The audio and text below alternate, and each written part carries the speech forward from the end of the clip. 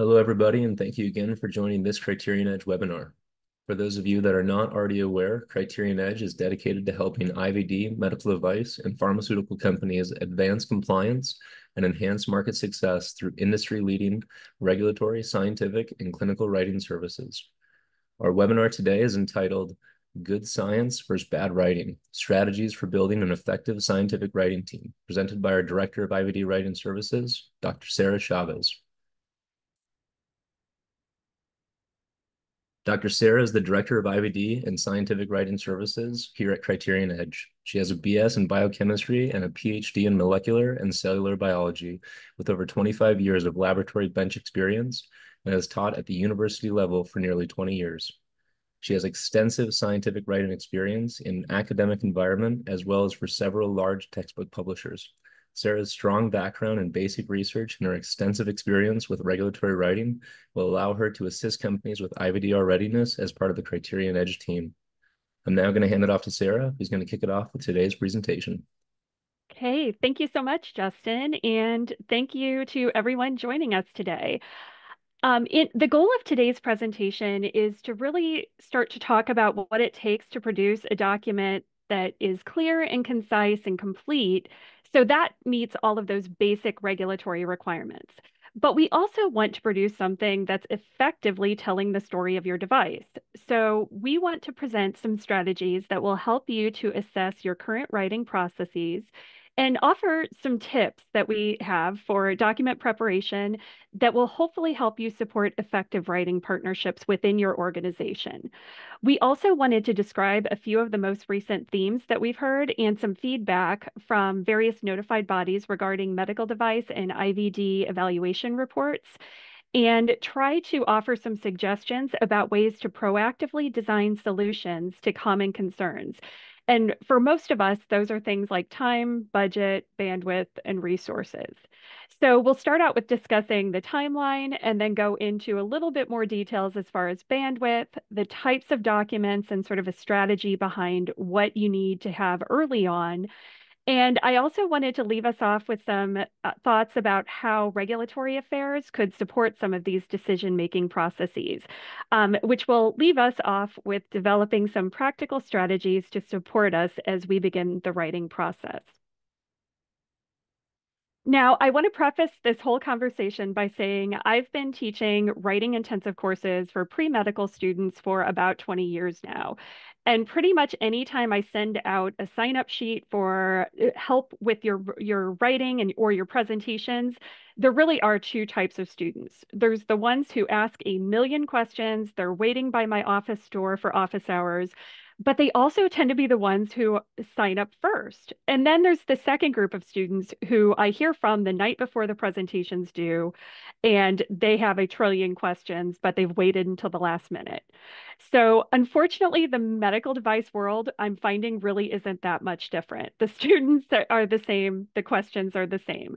So when our deadlines got pushed out a bit, a lot of the companies actually hit the pause button on their preparation efforts in order to take advantage of all of that extra time. But if you think about the purpose behind that time, if a teacher has noticed that an assignment is a lot harder than they thought, they extend the deadline to give you extra time to prepare. It's not meant to be a break in the exercise, but that seems to be the trend and sort of the eh, the impression that we're getting from a lot of companies.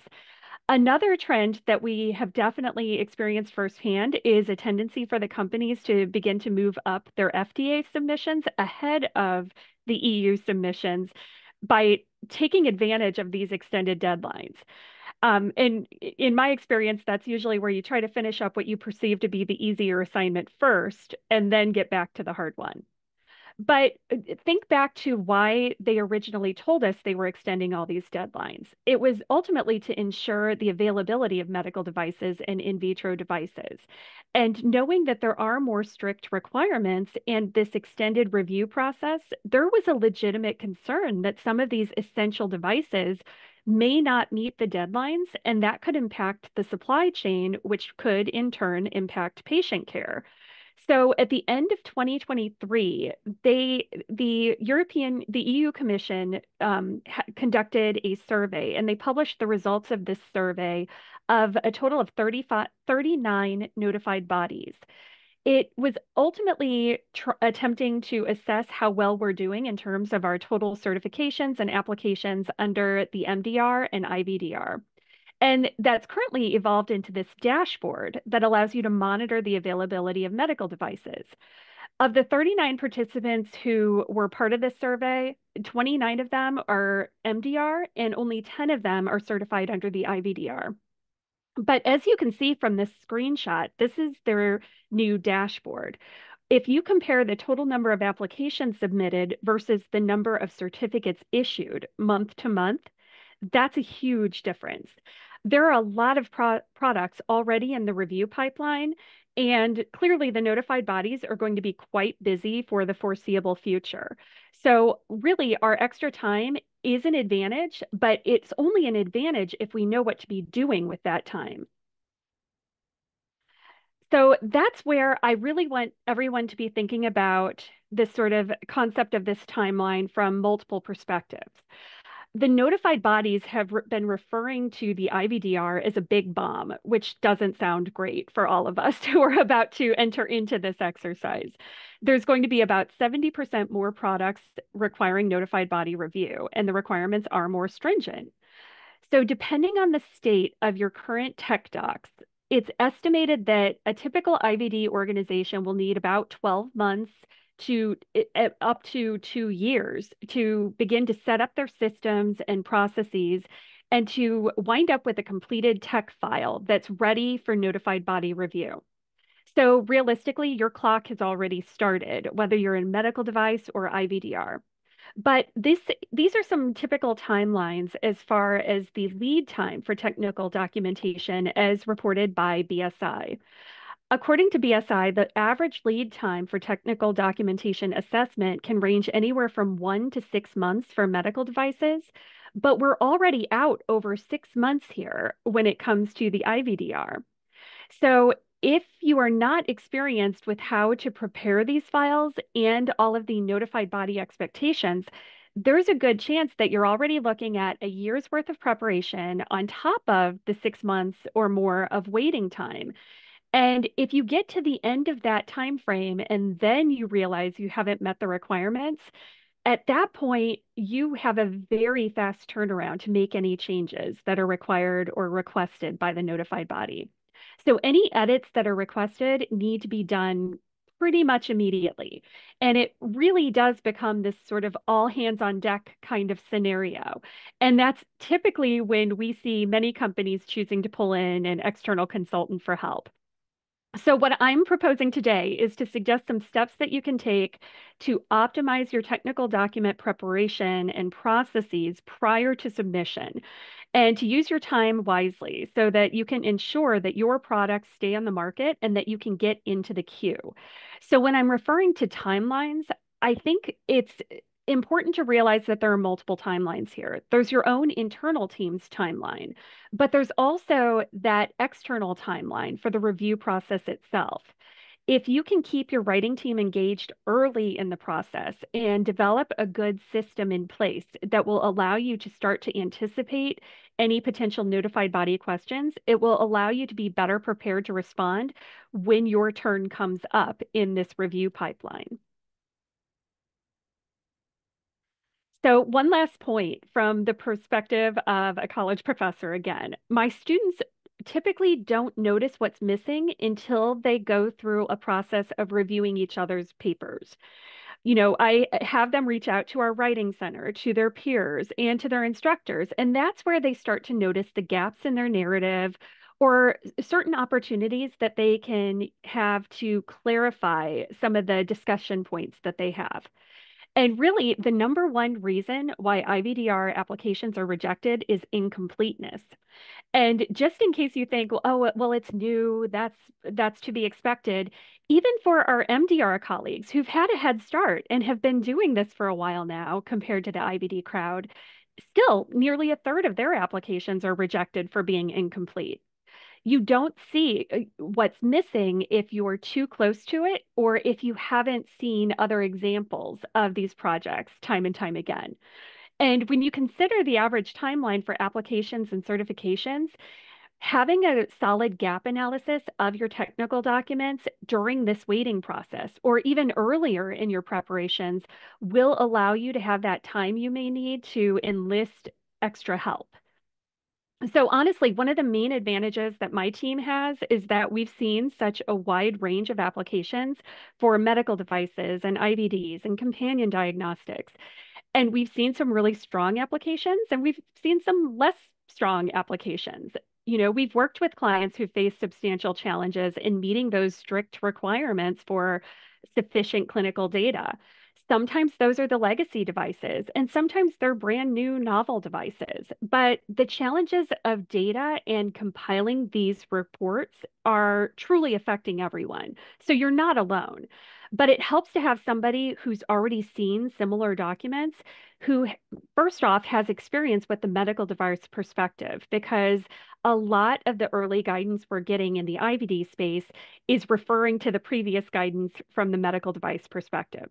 And then B, we also want to understand some of the unique challenges that are posed by IVDs, where clinical data is going to be even harder than it was for the medical device teams. So that leads us to the second learning objective, which is sort of that self-assessment piece. You know, do are we ready to commit to this writing process?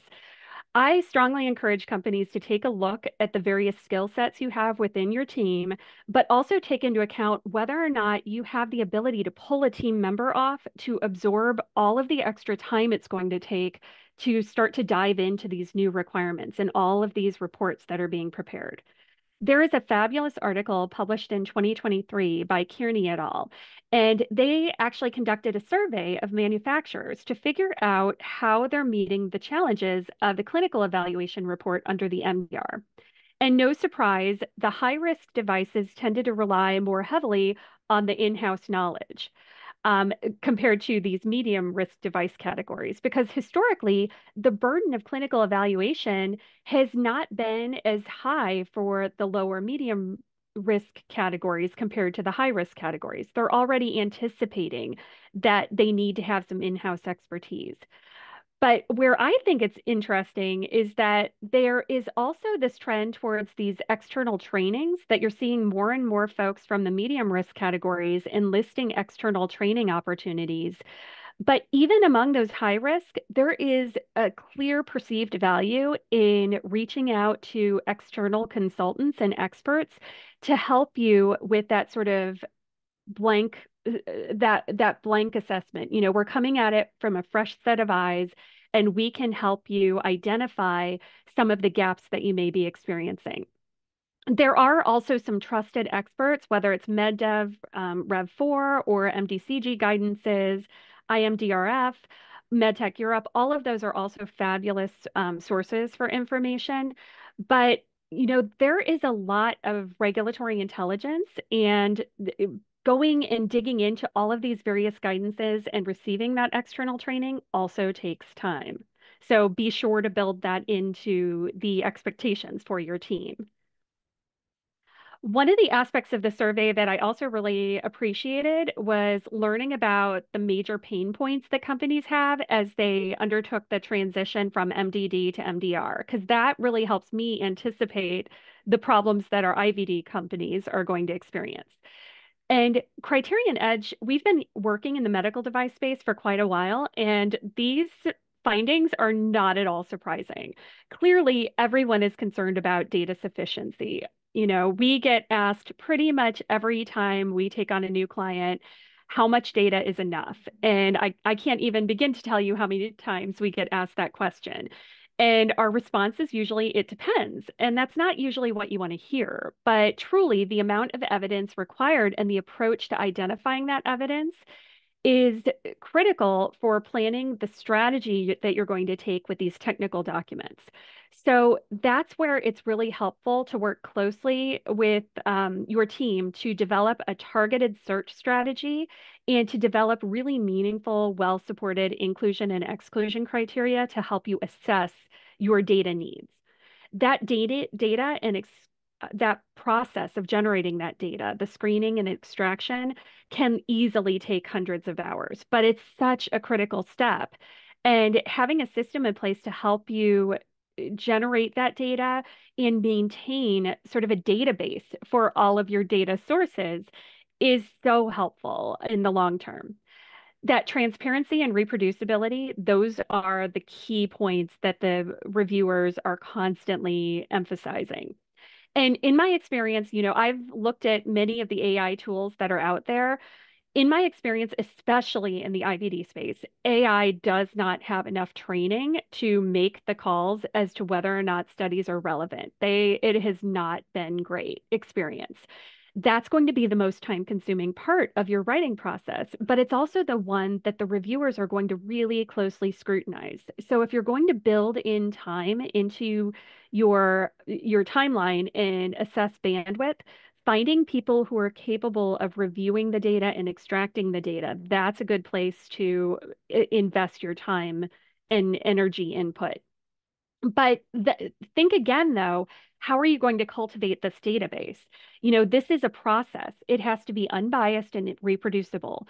So any decision you make as far as I'm going to include a discussion of this study, but not that study, that all needs to be transparent.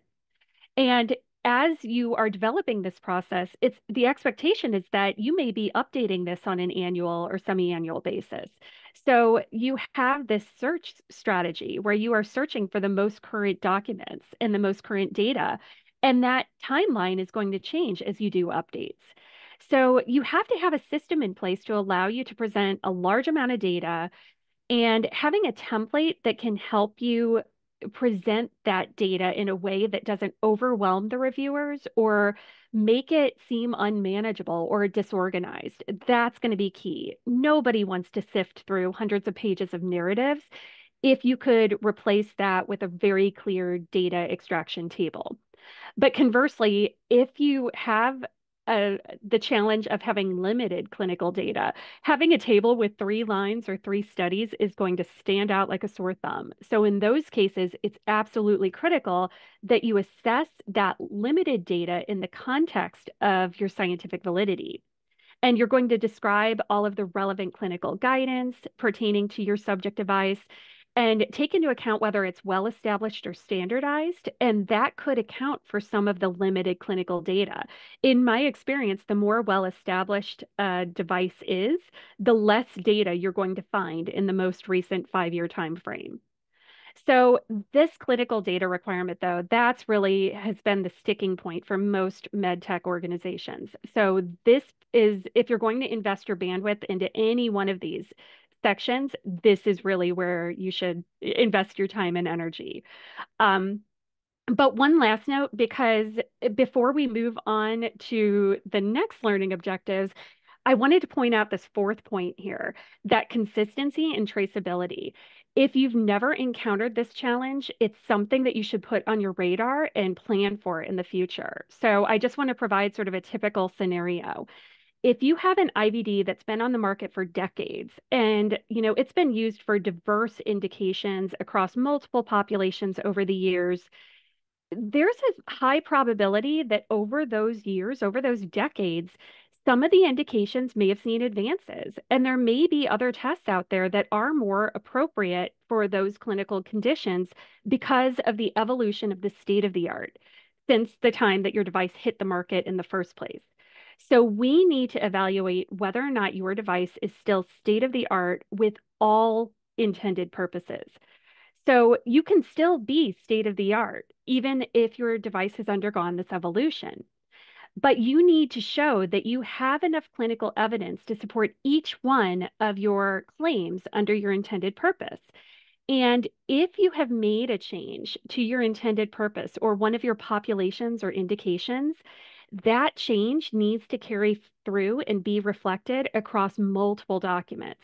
So you need to make sure that you have a system in place to review the relevant sections across those documents to ensure that those changes are carried over. That process of ensuring that consistency is just a really key example of how a lot of these changes have ripple effects and what you think is going to be just one quick change, I'm just going to change this one word in the intended purpose, it can result in you having to go through multiple documents to find that those changes and make sure that they're all consistent. And I point that out because, you know, under the MDR, there's been a huge increase in the amount of outsourcing of the clinical evaluation reports, irrespective of the company's size or even their risk classification. So, this same survey of manufacturers found that mo while most of the respondents don't outsource the generation of their CER, the ones who do indicated that they used to produce it in-house, but uh, since the implementation of MDR, they that's when they started outsourcing. And for many of them, when they outsource, um, they do it for, they tend to prioritize those high risk devices. But if you look at those individuals who decided not to outsource, they tended to be these really large companies rather than the small to mid-sized companies. So in the next survey question, they were asked to explain why they're outsourcing. And typically comes down to a, a mostly even split, split, kind of a 60-40 split between lack of expertise and time and resources. Um, no, I think it's funny that no one says it's more cost effective. You know, this whole process is not cost effective. But when you put it in the context of time be equaling money and delays can have a huge impact on your budget, in in a way, you know, maintaining that time and maintaining your resources is more cost effective in the long term. So further data analysis was performed to dis determine whether or not there was a trend in the extent of outsourcing between those small to medium size versus the larger ones. 50% of the small to medium sized companies outsourced their CERs compared to only about 18% for large companies. So if you are part of a company that's ruled out outsourcing any of these because you've considered, you know, you've considered the cost of developing these documents and all of those factors, I do encourage you to start to think about some of the potential needs and the benefits within your organization of working with a consultant early to help you develop a process to support your writing team internally. If you have a strong process that's sustainable, it can help you save a massive amount of time for your team in preparing these technical documents and set you up for success in the long term, not just in the preparation of this one report. And I previously mentioned that incompleteness factor being kind of a, a, pet peeve. It's one of the primary reasons for rejection in both MDR and IVDR applications. So another notified body here, in this case, TÜV Süd, they published a list of some of their key tips to support manufacturers as we assess the tech files. And they actually specifically called out that many of the manufacturers lack the writing experience. They don't know what these documents are supposed to look like. And the notified bodies in most cases are experienced with reviewing these documents from the medical device perspective. So they have a sense of what they're expecting to see. And they're trying to convey that. But if you've never seen those documents, it's really challenging. And so, you know, you have to ask yourself what gives the notified body the distinct impression that a company doesn't have experienced technical writers? You know, a lot, a few of their key suggestions are really centered around that concept of consistency and completeness. Having a tech doc file that's readily searchable and well organized. And that goes back to that whole concept of templating, hyperlinking, making sure that if you refer out to a section, that changes carry over across multiple sections. They also point out, though, things like the manufacturing information not being detailed enough or certain pieces of design information just being missing or a lack of detail. Those claims in the IFU versus the performance evaluation report, um, that's a, a, big challenge that many of them have cited. Um, and then also having a strategy to develop and demonstrate that clinical evidence. So that goes to your search strategies and how are you actually going to compile and maintain this sort of active surveillance? How are you going to show that you are actively seeking out any and all opportunities to identify relevant clinical data as it's being presented? Um, you also want to look at the clinical evidence for legacy devices. Just because you've been on the market forever doesn't mean you're necessarily meeting the requirements. They have gotten to be harder, and that is a particular challenge for the legacy devices. So I found it interesting that they they called that out specifically. Um, and the fact that, you know, picking things like your competitor devices carefully and showing why you consider that to be a competitor device, that's also an important piece. Um, and I think all of this kind of speaks to this whole concept of post market activities. Once your device is on the market, how have you developed a clear system, a plan that's going to help you continue to collect and assess all of this data on a regular basis without driving yourself crazy? So, as someone who's tasked with preparing a lot of these technical documents, these are some of the simple steps that I take during the systematic literature review planning process that help me avoid the deficiencies. So, first off, the intended purpose. You know, that is going to be critical. We want to define our questions very tightly at the beginning of the search process. I can't tell you how many times we've been asked to jump in to support a project where a change in the IFU required them to basically redo their entire search strategy and pretty much go back to the drawing board. So that can be extremely frustrating from the company's perspective, but it is an avoidable pro- problem. You know, we can plan accordingly from the get go, and that can help you make some of these decisions very early on. Um, another point I like to make is that we work with companies at all stages of the product life cycle, whether they're a legacy device to a device that's even undergoing development, like it may still be in the R&D phase. So for a company that's looking to take a peek at whether or not they're going to be state of the art, that systematic review process early on, especially conducting a state of the art search or a guideline search, can be extremely valuable. So as soon as you can, conduct that state of the art search. That will give you a really solid sense of some of the key recommendations and guidances and help you understand really where your device sits in the broader landscape. That's where you're going to identify those competitors and you're going to start to see some of the um, eh, the potential competition that's out there, but also give you a preview of some of these various safety and performance objectives um, choosing the right safety and performance objectives is critical, whether you're a medical device company or an IVD company. So I think this is a good point to make as far as another example of those ripple effects. So suppose you have a company that's looking to develop a test to assess antibiotic resistance in infection. Often they don't really have a solid sense of that guideline search. So they don't know what the guidance says pertaining to how antibiotic resistance testing fits into the clinical diagnostic algorithm. But they also typically don't know going into it whether or not the same types of resistances are seen across diverse populations. And if that could potentially impact the design of their test in different markets. But if you have that knowledge, if you've conducted a state of the art search in diverse populations very early on, it's entirely possible for you to conduct one large search that is applicable and can be stratified across EU, US, and Asian submissions uh, in populations.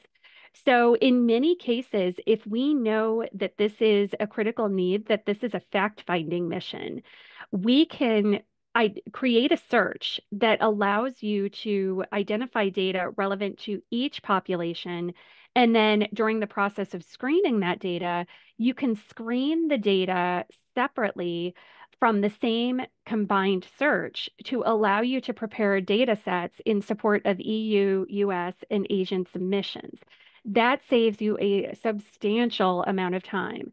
So it allows you to view those submissions. They're independent projects. And in many cases, in our experience, companies often have independent teams. You know, one team will be working on the FDA submission, another will be working on the, the IVDR submission. And they will be conducting separate searches and everything is duplicated.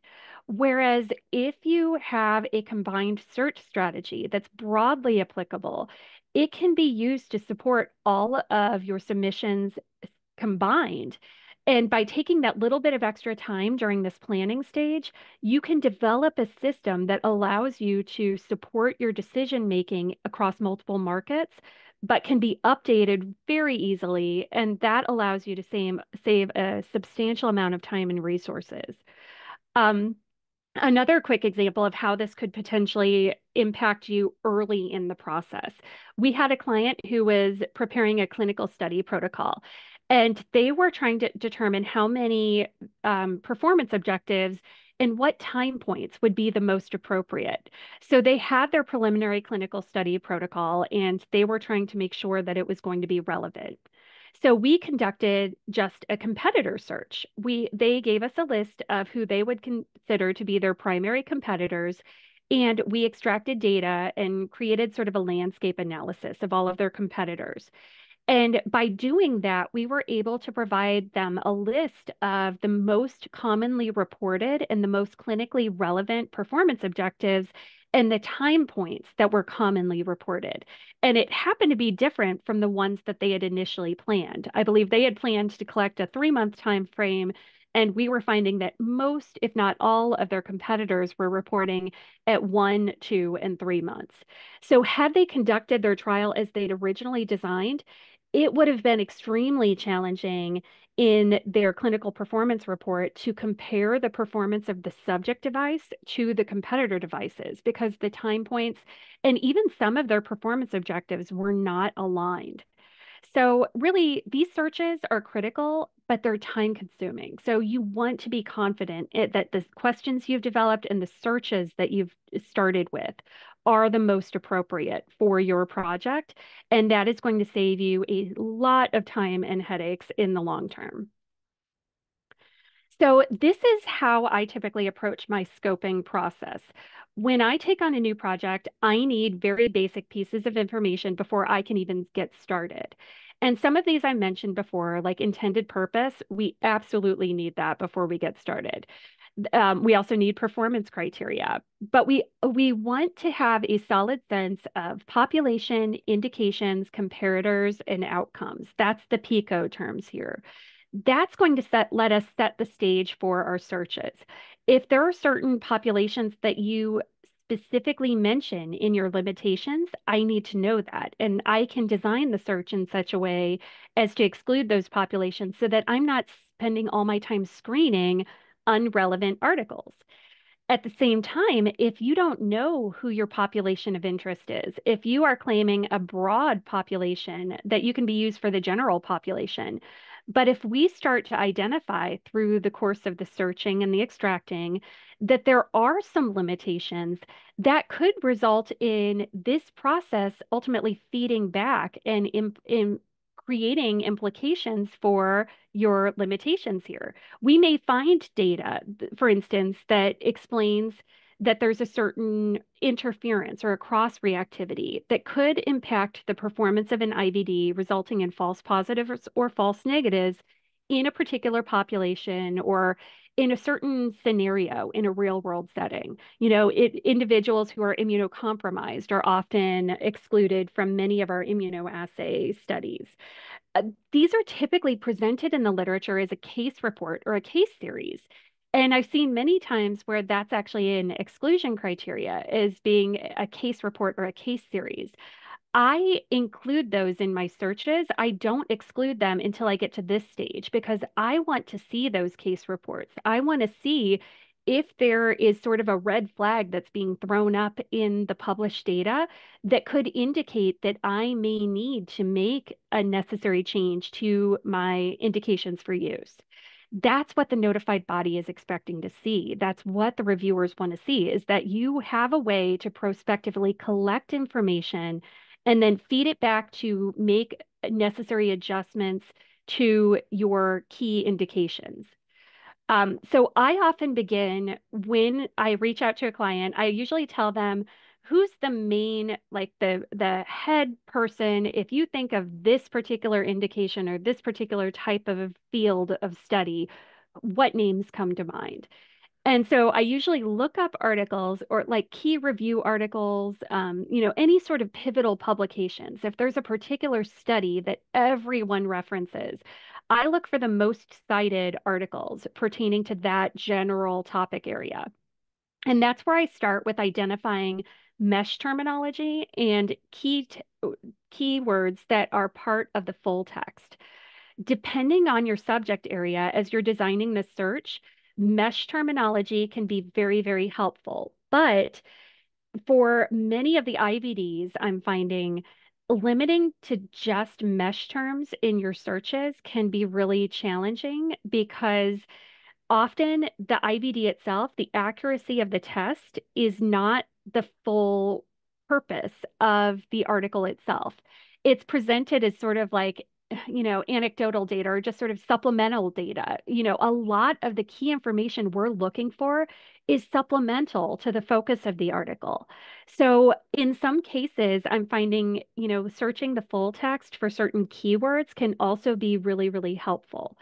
But we work closely with the client to try to choose, you know, everything from the most relevant time frame to the number of databases to search. We often get asked, can I just do a PubMed search? And while you can, I will caution you that you're going to miss a lot of data that's published in EU specific journals. So we always recommend searching at a minimum Medline and Embase.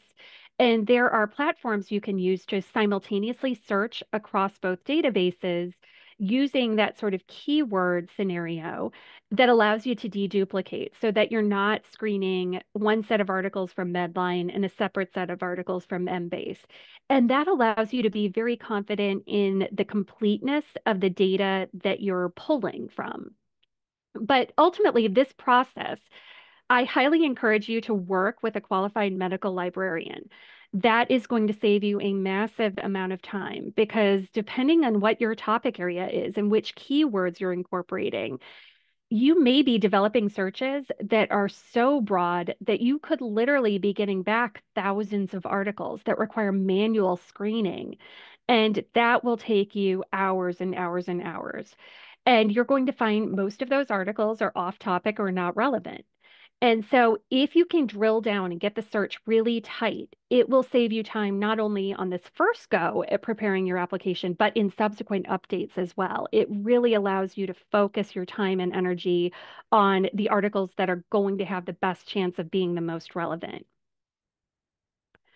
So whether our client is small or large uh, in terms of the company size, we always recommend connecting your writing team with your regulatory regulatory affairs team. That's very helpful early on in the process because in our experience, the regulatory affairs teams tend to have a better sense of the big picture, that larger perspective, not just the one report that we've been tasked with writing.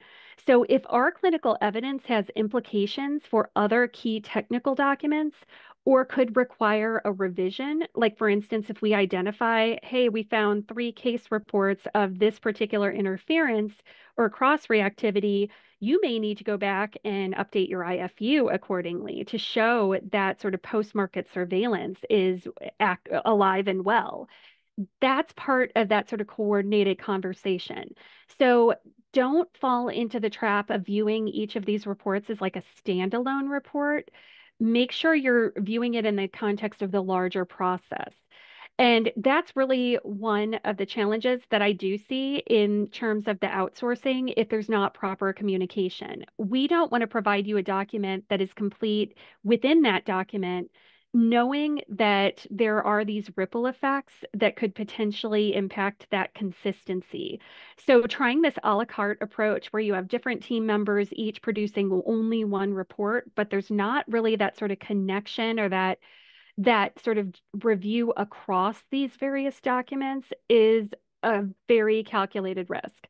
Um, you know, ultimately, we want to build a strong connection between the writing teams and regulatory affairs to ensure that you're building consistent, cohesive templates and reports that are feeding into one another and are being updated accordingly. And one last key point I wanted to make in terms of that ripple effect and the impact of making changes. Sometimes, eh, and at least in my experience, most of the time, if a change happens as a result of the search and the process itself, there's usually something that we encounter during that state of the art analysis where a clinical evidence requirement is not being met across all indications, or there's a particular limitation that we're noticing, or maybe it's not state of the art for all of the various populations anymore. Uh, so that is part of this feedback. And that's where most of these sort of flow charts that are described have this bi-directional arrows. You know, the arrows are supposed, it's not a linear process. If you get through the process of searching, you appraise the data set and you realize we don't have enough data. It may require you to go back to the published literature and reevaluate your search strategy. But unfortunately, for many of us, it could also require that you need to identify additional clinical data pertaining to your subject device. And that's what I think most folks are trying like crazy to avoid. Um, so regulatory affairs really comes in here because they bring their knowledge and their expertise about how to plan these these conversations to ensure that all of these technical documents and the implications of changes are fully appreciated. And that allows you to incorporate any new updates, whether there's a new risk or a new potential indication that's been identified.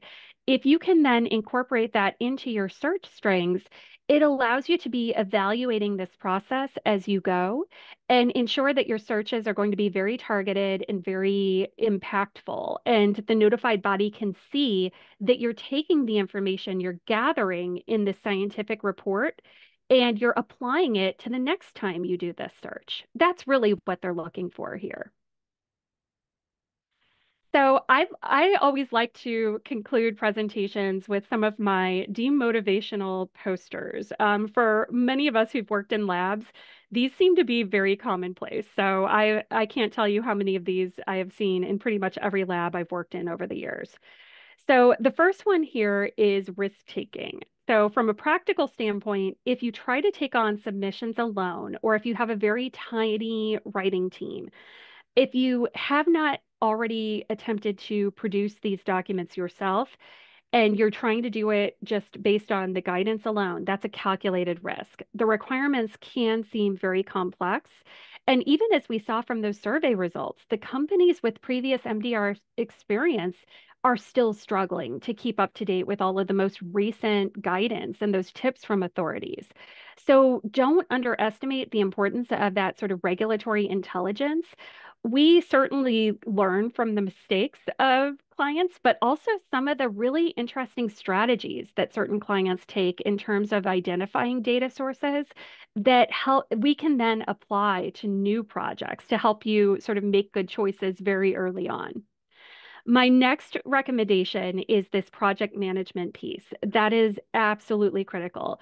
There are so many reports that are flo floating around, and different team members are typically assigned to each of those reports. Version control becomes a really big issue. You may have people updating feedback or replying to comments or tracking changes, but if there are 10 different versions of these documents floating around internally, it's really important to have traceability and trackability of these documents. So I highly recommend assigning ownership for writing reports to one key stakeholder, but then developing a system in which you can obtain consolidated feedback that allows you to conduct these sort of cross-functional team reviews where you have r&d reviewing it you have regulatory affairs reviewing it you have everyone is reviewing these documents looking for the pieces that are relevant to their documents. That allows everyone to ensure that consistency across reports. So just because you don't think it impacts you, does it that doesn't mean that something that's said in one report doesn't uh, create some a misalignment potentially with something that's in one of your report. So giving everyone a chance to comment and edit and approve can be challenging, particularly if there's not a consensus with certain aspects of the device, or if you have regulatory decisions that get changed at that last minute, that can certainly impact your timeline. So build in time for this cross-functional review. There are so many moving pieces, and that can be overwhelming. And I think as scientists, we've all experienced the struggle of trying to read a friend's manuscript or a report. And it may be some like a topic area that we're super familiar with, but we've all seen what happens when they're just not getting the point across. You know, the science is great, but the writing is less than stellar. And uh, like, quite frankly, not all scientists are very good writers. And a lot of us have even less time or desire to even take on the writing task. You know, we get into science because we enjoy the science. But we have to start thinking about these reports from the reviewer's perspective they are expecting you to tell them a story of your device. They have to be given a lot of information. But if you haven't clearly laid out your arguments and ensured that that narrative is cohesive and really tells the story, it's really easy for the reviewers to miss out on important details. They are not going to take the time to connect the dots. If you don't tell them why a piece of information is not relevant and therefore does not need to be included in this report, they are going to assume you just forgot about it. So even simple things like saying this particular performance objective is not relevant because this is a qualitative test, not a quantitative test. You know, taking a moment to uh, review it from their perspective. You have to tell them those things. They are not going to extrapolate or draw conclusions that are not expressly stated in these documents. And given the fact that their review times are so long and the but the amount of time that they actually spend reading through your documentation is relatively short. So if they cannot easily locate that pertinent information, they are not going to keep digging through your tech files to find it. Hyperlinking, clearly labeling appendices, all of those things, developing a strong solid template is the job of the writers that helps you organize your key discussion points, but ensures consistency in formatting, the, a clear flow, and an easy navigation. This is where I, I tell people it very much pays to be OCD. And ultimately, it comes down to the amount of time and bandwidth. You know, when you have an endless supply of expendable labor, this may not be an issue for you, but that's not usually the case for most of the teams we work with. The documents will take more time than you think they're going to take. And many of us are being dragged in a million directions anyway. So, writing these technical documents may not have even been part of your job description, but it is now a necessary part of the regulations. So, training an employee to tackle these tasks could wind up taking them away from what their actual responsibilities are and may not actually be the best use of your time and resources. There are some aspects of this that, you can outsource. But that being said, there are a lot of writers who are coming into the industry with the goal of producing a product really quickly. You can tell they're using AI to do the writing or other tools that do the job for them. Don't underestimate the importance of having expertise in that medical device space and having people who can write without AI help that's going to help you navigate some of the less than clear guidance that's out there and, you know, to a certain extent, the rules that we have are very prescriptive. They, if you do what they ask for and you follow their rules, generally speaking, the notified bodies uh, are, are happy with the product. But sometimes there are devices that don't fit cleanly into one of the categories, or the rules are just not quite right. And or unfortunately, we're waiting on updated guidance, and we don't have time to wait for that guidance to be published. So that's really where taking the time to consult with someone who's seen a variety of different projects and different pathways to approvals, that really helps you navigate those sort of unclear scenarios with a higher degree of confidence. So just to summarize, if you're building your writing dream team in your in-house or you're building in sort of a combination of in-house and outsourcing, de develop a realistic timeline. You need to know where your current documents are in the pipeline. Are, are any of them finalized? When are they going to be finalized? Because there are these ripple effects that happen, and one document can hold up the entire process. Conduct these cross-functional consolidated reviews so that you can ensure consistency across the documents. That is absolutely critical. So don't think that, you know, one team is going to handle analytical, the other team handles uh, um, clinical, that they're never going to interface with one another. Everything should be cross-functional. That transparency and reproducibility in the systematic literature review process is a requirement and an expectation, but it takes a lot of time. So build in time to allow you to develop a process that is going to be consistent. Your templates should be really easy to navigate, and the labeling for the reviewers should be very intuitive so that they don't have any issues finding the information they're looking for in your document. If you have a conclusion or a discussion point, state it directly. Do not imply it. And your acceptance criteria needs to be developed to best reflect the current state of the art, not what was state of the art when your legacy device came on the market 50 years ago. But ultimately, that consistency is key, and we need to stop thinking about the document as being a product. It really is this process of writing the document. That's the more important piece that, and really what the notified bodies are on the lookout for. So I like to kind of leave off with uh, another kind of nerdy science example. Um, if we take a cue from some of our most successful partners in the natural world, our fungi and algae, um, we have these lichens, which are basically these broadly successful keystone symbioses. They are some of the most diverse, impactful, widespread, mutualistic relationships. They allow algae and cyanobacteria to grow on a rock or on a, in an environment that would otherwise be significantly challenging. But they form these symbioses in, in a way that it's mutualistic. Everyone benefits it allows them to become dominant in certain habitats, even in the extreme habitats. But I think what makes them so successful is that flexibility. You know, that partner flexibility, that is really integral as far as developing a relationship. You need to be on the lookout for partners and writers on your team that have a broad skill set, that have broader experiences, hopefully in the medical device, IVD, pharmaceutical, or sort of that cross training. That allows you to have more of that versatility and a wider range of uh, experiences in the global regulatory space. So we have a little bit of time left for questions. I know I pulled a few of the questions from the um, the, some of the questions that were submitted ahead of time. So I have a few of those here, and it looks like one of them um, in the uh, Q&A button here has asked about project management tools and programs.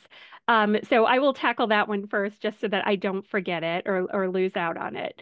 Um, so ultimately, it depends on what systems you have in place. I can say the main pain point for most companies is figuring out a way to share documents and allow you to comment and track changes and keep track of who is making what changes and edits. That version control is huge. So I typically recommend creating a shared document in something like a box folder or a SharePoint. Um, in my experience, Google Docs messes up a lot of the formatting. So don't wait and, you know, wait until the end to do the formatting because Google Docs will wreck it every time. But having a system in place that you use to assign tasks. Um, I even use the comments within the document and I at people. So I, I will say, like, this person from this team, I need you to confirm this piece of information. And I encourage folks to use the comments, but not close the comments. I encourage them to resolve the comments. And that way you have that trackability of, didn't we have a question about this? Did so and so go back through this and actually fix that part? Okay, yes, I see back on this date, they addressed that concern, and here we go. So Saving copies, though, along the way is also helpful. So I have a shared drive, um, and I will send out a link to the partners for writing. when I go in every morning, I archive a copy of it so that in the event that one team member is not as skilled with the shared files and accidentally deletes someone else's work or overwrites it, which can ha- and does happen, you have the ability to go back to the previous version of the document. That helps a lot. So save multiple copies. That would be my main um, my main takeaway.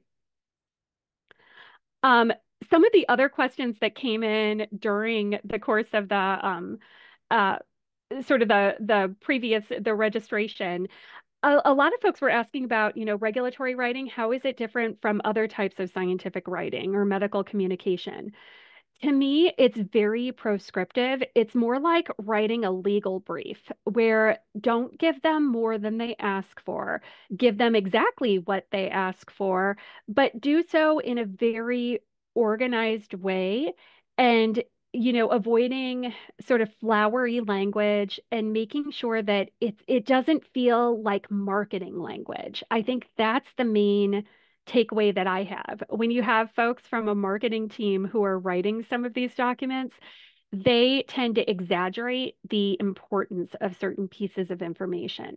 Whereas we want this to be almost a little bit dry, but we do want to clearly state the conclusions that can be drawn reasonably from the data that we've presented. So that's where those objective acceptance criteria really come into play. So just kind of following the rules and sticking to what they ask for. Um, there were some some folks were asking for training resources if you have non-science writers to become better science writers. That I think um, I tend to go with um, there are certain resources available through PubMed. Um, eh, for instance, StatPearls is an online um, book that provides a good high level overview of the topic area. It's it, it's sort of the main challenge that we face is do you find someone who's a good writer and teach them the science or do you find somebody who's a scientist who can sort of write and make them a better writer and you know it's it's kind of a combination of both but i would say i tend to start with if it's a topic area that we are not as familiar with i always start with StatPearls and some of the other um, websites and just a really solid review article that's written for a lay audience, ideally. But that will really allow your non science writer or sort of a non expert in the field to become acquainted with some of those key terminologies that are going to be important for them to know moving into the project to really be able to start to make some of those key arguments. But that's part of where having a dialogue between the scientists and the writers is really, really helpful. And that cross-functional review, you know, the R&D team can say, oh, we don't really say it like that. We would prefer to use this language, or this is the way we would say that. They'll be able to help you with those pieces. And then I believe we answered this question, some of the tools and the templates. Um, the tools I would say developing a system to archive your work. That that's the main takeaway and to track changes regularly. That way you have a version control and a clear documentation of the process and the decision making that has gone through the entire process. That will help you immensely.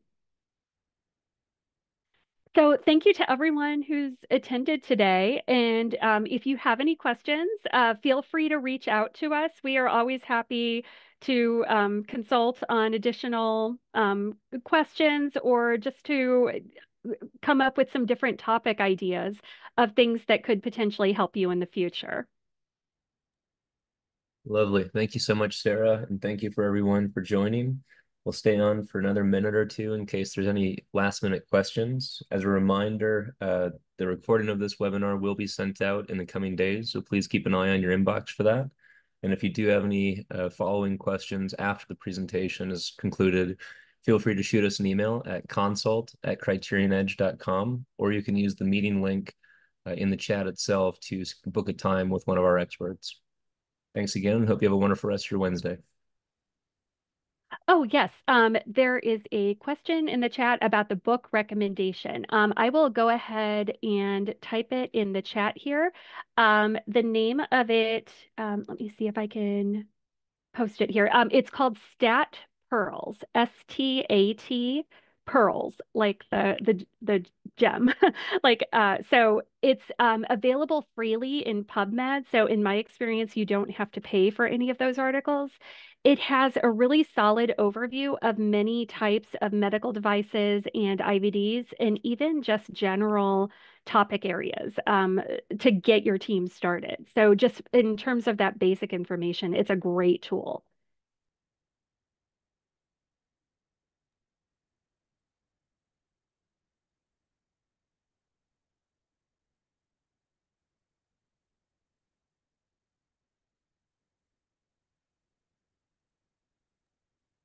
Give it one more minute in case there's anything else that comes up.